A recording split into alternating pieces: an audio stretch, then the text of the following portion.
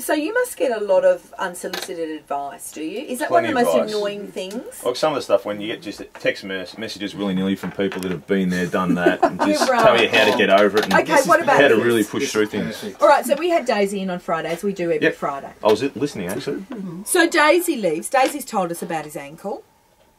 So Hughesy, suddenly Hughesy's beavering away on his text. I said, What are you sending to Daisy? This is what he sent to Daisy. David William Hughes. Yep, nobody from nowhere is sending this to Daisy from Collingwood. I'm no expert. Don't you hate a sentence that starts with that? But if your ankle's effed and you can't run, maybe you shouldn't play. Great P.S. advice. P.S. When you're fit, you're the man.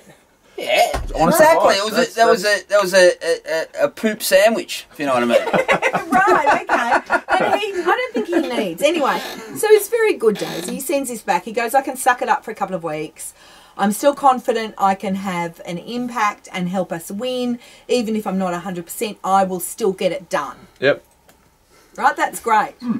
Good honesty. So Yeah, far, that's you nice. think that's the end of the conversation? leave it I would think You, think. would finish it there. Yeah. well, you'd think so, I, oh, wouldn't you? I, I, Oh, I, no. would have sent that back to being Daisy, thinking I'd cut cut ties there and just go on with my weekend. Exactly. Yeah. Sever. Yep. Yeah. No oh, more no, text. no, Yeah, no. Well, let's leave it there. Let's just leave it there. Well, no, Well, oddly because it not. wasn't left. Oddly Ah. not. Yeah. So then, you're a superstar. No one doubts that. Once again, that's a nice end to a Was that was that was, was that just the text? That was Hughesy, yeah. Just then. Okay. Just that was it. But hang on. Then he goes, no, that's I can't leave it there. Not when I'm the font of such experience myself. So then he sends this. I played with a crook ankle in the 1990 Warrnambool and District League first semi-final. A lot of people remember that. I actually read about that as a kid. Yeah, right. Yep. I Technicolor. did no good and we lost. We'll never forget it. A lot of people won't forget it. It was terrible.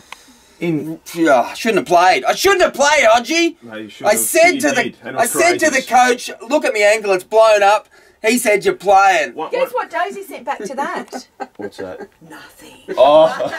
Nothing. Nova.